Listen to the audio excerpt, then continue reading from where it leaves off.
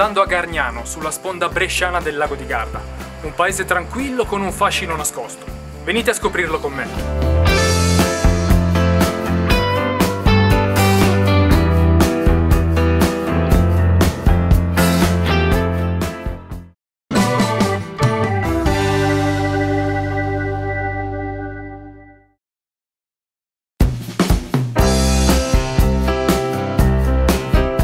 Gargnano è un piccolo borgo della sponda occidentale del lago di Garda, poco conosciuto rispetto ad altre località turistiche, ma non per questo meno affascinante. Le strade e gli edifici di Gargnano sono stati testimoni di recenti avvenimenti storici rilevanti. Questo, ad esempio, è Palazzo Feltrinelli, un elegante edificio di fine Ottocento divenuto quartier generale di Benito Mussolini durante il periodo della Repubblica Sociale Italiana e oggi centro convegni di livello internazionale e sede staccata dell'Università degli Studi di Milano. Mentre di fianco alla spiaggia della Fontanella sorge Villa Feltrinelli, residenza di Benito Mussolini dal 43 al 45, trasformata nel 1997 in hotel di lusso.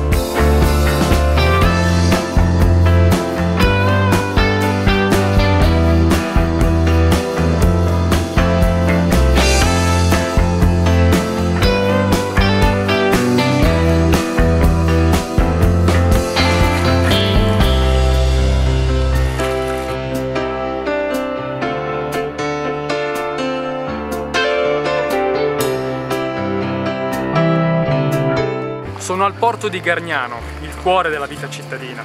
È qui che si concentrano i locali, i ristoranti, le attività commerciali e fa un po' strano notare, e stride anche un po', come su alcune facciate di questi palazzi siano state murate delle palle di cannone, a ricordare agli abitanti di Gargnano ma anche ai visitatori e ai turisti il bombardamento navale subito dalla città nel 1866.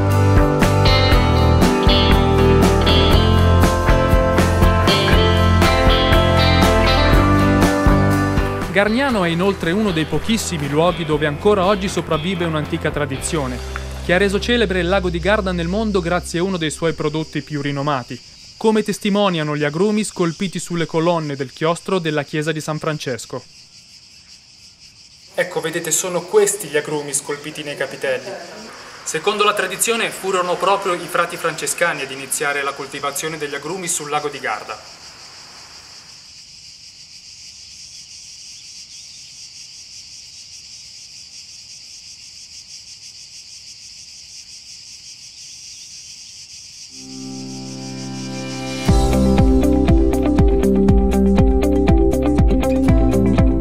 La limonaia La Malora risale al XVI secolo. Grazie all'impegno e alla passione del proprietario Giuseppe Gandossi e di suo figlio Fabio, è a tutt'oggi perfettamente conservata, visitabile e produttiva, a differenza della maggior parte delle limonaie del lago di Garda. Il nome deriva dal rio Malora, oggi Rio Molini, un ruscello che scorre a fianco della struttura e che un tempo alimentava le ruote dei mulini.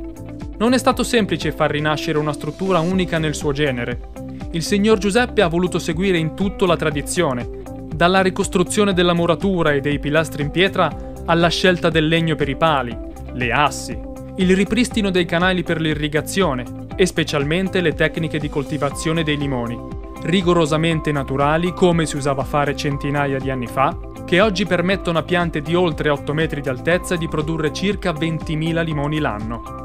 Da cinque secoli la limonaia continua a produrre limoni in piena efficienza e in perfetto stato di conservazione. Oggi è possibile visitarla autonomamente seguendo un percorso che vi porterà alla scoperta della tecnica della copertura invernale mediante vetrate e assi di legno, la ruota del mulino, il casello con gli antichi attrezzi da lavoro e l'ingegnoso sistema di irrigazione costituito da canaletti di pietra calcarea che sfruttano solamente la forza di gravità per deviare l'acqua che scende dall'alto e dirigerla verso le piante mediante l'utilizzo di più piccoli canaletti mobili in legno opportunamente posizionati.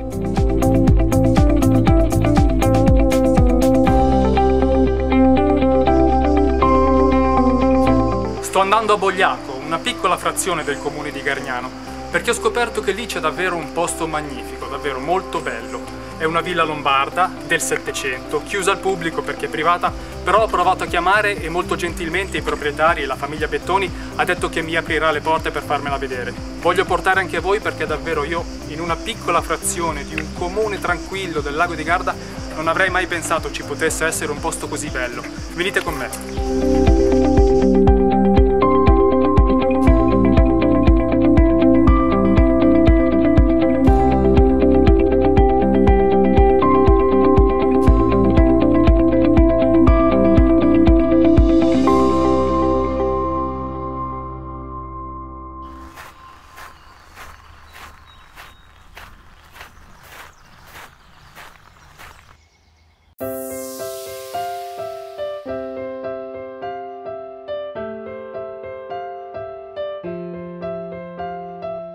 Quella dei Bettoni è una famiglia che ha tessuto rapporti con l'impero austro-ungarico nel Settecento, in particolare Gian Antonio Bettoni, al quale fu concesso da Maria Teresa d'Austria il titolo nobiliare di conte, per il suo servizio e per i suoi meriti durante la guerra dei Sette Anni. Villa Bettoni è una splendida villa lombarda del XVIII secolo, che nel corso degli anni è stata protagonista di importanti avvenimenti.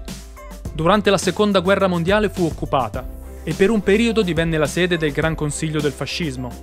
In quegli anni 17 su 18 incontri furono tenuti qui, nella biblioteca di Villa Bettoni.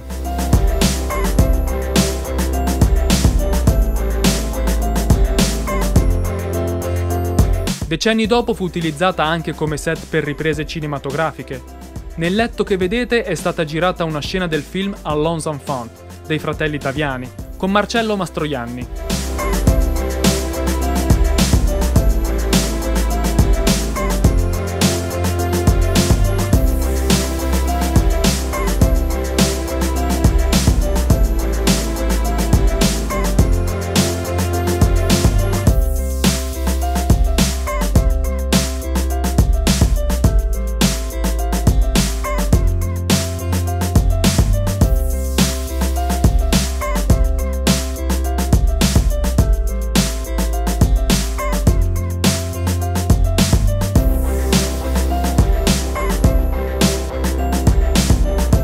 La villa fu costruita a partire dal 1752 da 16 fratelli. Uno di questi era un agronomo che ha fondato la facoltà di agronomia di Salò e aveva progettato per la villa un giardino all'italiana che potesse essere rappresentativo di molte specie vegetali. Il progetto fu steso insieme ad Elai Bettoni, amico di Casanova, che aveva portato a corte un'idea architettonica diversa, con l'intento di rendere il giardino un'opera monumentale.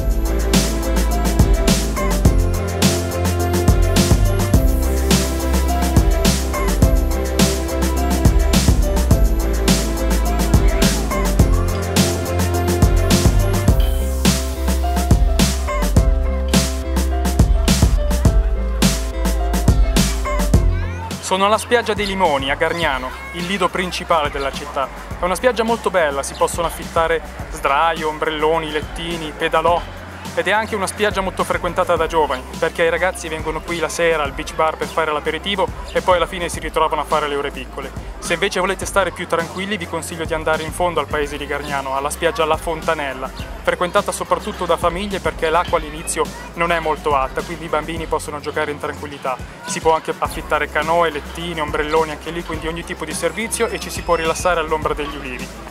Io adesso me ne sto un po' qua a rilassarmi, cerco di togliermi questo colore bozzarelloso perché sono veramente bianco e poi voglio andare a vedere che arrivano le bisse.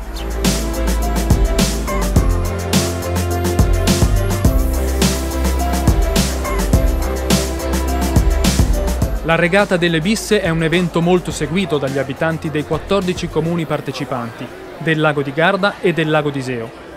È una tradizionale gara che vede la partecipazione di imbarcazioni storiche, risalenti all'epoca della Repubblica Veneta, che prevede la tipica remata dei veneziani e dei pescatori del lago di Garda, cioè in piedi e in avanti. Regata si tiene ogni anno, tra giugno e agosto. L'imbarcazione vincitrice ottiene come trofeo la bandiera del lago e ai migliori rematori viene riservato l'onore di sfilare a Venezia, sul Canal Grande, in occasione della regata storica.